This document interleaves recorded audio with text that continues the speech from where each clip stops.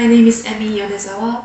I'm 16 years old and I'm 12th grade at Mindszenty High School. My name is Benjamin. I'm 17 years old and I'm a student at Mindszenty High School. My name is Don and I am 16 years old. I am currently 11th grade at Mindszenty High School. Hi, I'm Amira William. I'm 16 years old and I'm currently a junior at Mindszenty High School. Hi, my name is Bernice Jepti. I'm 17 years old and I'm a senior at Mindszenty High School.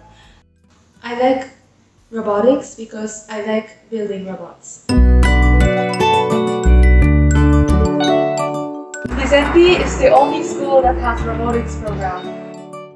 But we are encouraging more people to be involved in this program. That's why we do community outreach. I like teaching children and I also like